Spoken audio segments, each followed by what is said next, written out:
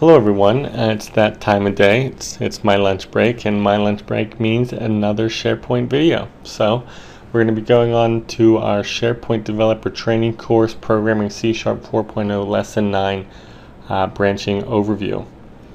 So today's going to be an interesting lesson because we're not actually going to be doing any programming. We're just going to be talking about what is branching. Now I did actually open up uh, Lesson 6 because we briefly alluded to uh, something called an if statement in that lesson and that'll kind of give us an example to work with.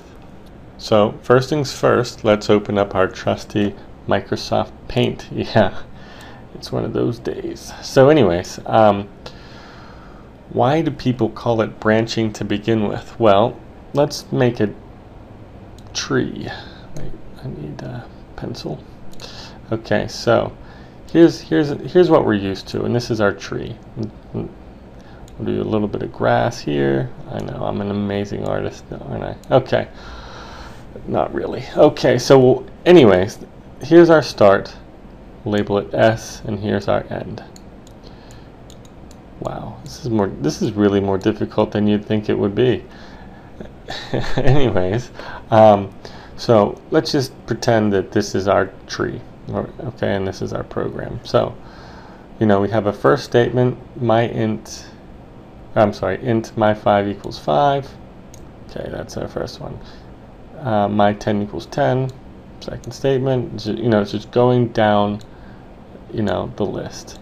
So this fifth one, this console write line, uh, is actually, you know, requires some branching. It's actually called an unconditional branch. Every time we run into this console write line thing, it's going to go ahead and branch out and perform some stuff and come back. So, okay, maybe I'll just connect it to the trunk of the tree. There we go. Look at that. There. Now it's starting to look like a tree. Okay, so we're going to go ahead. Here's our branch. Now, what happens is, uh, you know, this is our console write line. It's going to go out and do a bunch of a bunch of other stuff. You know, step one, step two, step three, and then it eventually it comes back. Uh, once once it writes hello to the screen, it returns directly here at the uh, the if statement. Now that if statement was uh, something that we talked about before. Basically, it says, you know, if it is true, do one thing. If it's not, do another.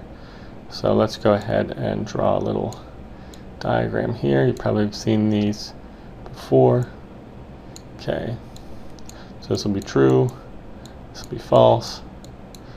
Okay, now what is it saying here? Console write line true. So if this statement is true, it'll go one way and say, and print print true to the screen. If it's false, it'll go one the other way and print false false to the screen. So let's see what this says. Uh, not my false and and true so true and true equals true or false. So true or false, is it true? It is. And if, you, if that confused you, go ahead and review, I think it was lesson six. So this is, this is true here. Now, one thing we can also have is we could have another if statement there if we'd like. So we can have multiple, multiple ifs, lots more logic, and eventually you get your tree where you have you know branching here branching here branching here and that is starting to look more like a tree. So you know and you go all the way down to the end. So so before our tree was kind of like this and now it's starting to look a little more like this with branching. So anyways that's actually all for for today's lesson I just wanted to give you an overview of what is branching. We're actually going to go and talk about each specific type of branch um, in uh, the subsequent lesson. So again, thank you for joining me today. It was actually a, kind of a fun, fun lesson for me at least. I got to work with MS Paint for the first time in about 100 years. Uh, so everyone have a great day and I'll see you tomorrow.